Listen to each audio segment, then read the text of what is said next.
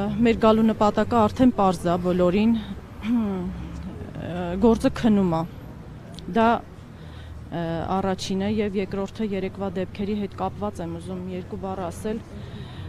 Այսօր հենց հանդիպեցի մի գրառման, որտեղ գրված էր, որ ծնողները պետք է առաջինը իրենք ոդքի կանգնեն։ Հիմա ոդքի ենք կանգնել, ապրիլ ամսից մենք ոդքի ենք կանգնել։ Այսօր ստեղ ենք ով կա հասարակ քաղաքացի, ոչ զոհվածի ծնող, ով կա մեր կողքը։ Ոչ մեկ չկա, շատ քիչ մարդիկ են։ Հիմա մենք ոդքի ենք կանգնել։ Իմ պատկերացումով պետքա 3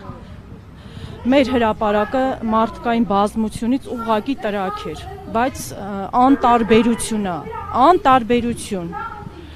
Այն ինչ որ մենք անցել ենք այն ճանապարհը շատ ցավոտ է։ Մեր ցավի հետ մեկտեղ մենք պայքարում ենք, ճիշտ է։ Մի քիչ ուշ ենք ոդքի կանգնել, բայց ոդքի ենք կանգնել։ Հիմա հետեւյալն է աստվածս ժողովուրդ ջան։ Եկեք միացեք ծնողներին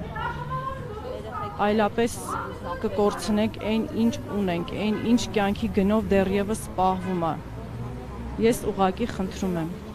մտածեք ձեր երեխաների, ձեր հայրենիքի մասին։ Չդառնաք սևազգեստ, ինչպես որ մենք։